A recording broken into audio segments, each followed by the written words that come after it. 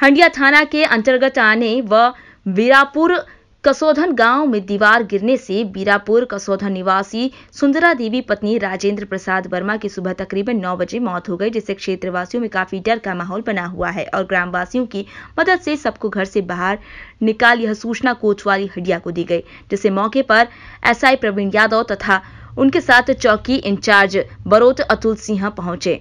कुदरत का कहर देख ग्रामवासी चिंतित है। सुंदरा देवी की एक लड़की है, जिसका नाम पूजा बताया जा रहा है। घर वालों का रो रो कर बुरा हाल है तथा घर वाले और ग्रामवासी प्रशासन से मदद की उम्मीद की गुहार लगा रहे हैं। मौके पर टूटे क्षेत्रवासियों का कहना है कि प्रशासन को इनकी मदद करनी चाहिए।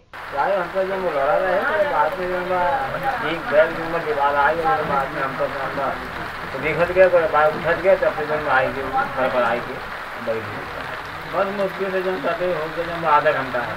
आधा घंटा खाना घंटा। बहुत